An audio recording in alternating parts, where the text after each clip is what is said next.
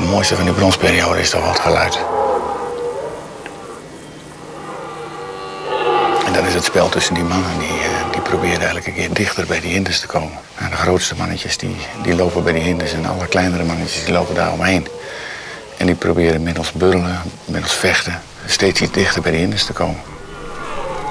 In die bronstijd kunnen die zware herten die kunnen wel een derde van hun lichaamsgewicht verliezen. En dat betekent dat ze soms wel 50, 60 kilo uh, inleveren in een week of drie.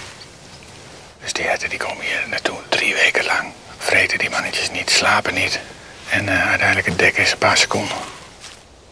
Kijk, nou vliegen ze elkaar achterin.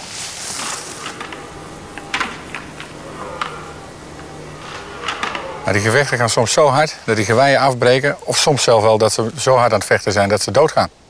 Dat ze elkaar dus gewoon vorkelen, zoals wij dat noemen. Dat ze elkaar doodsteken.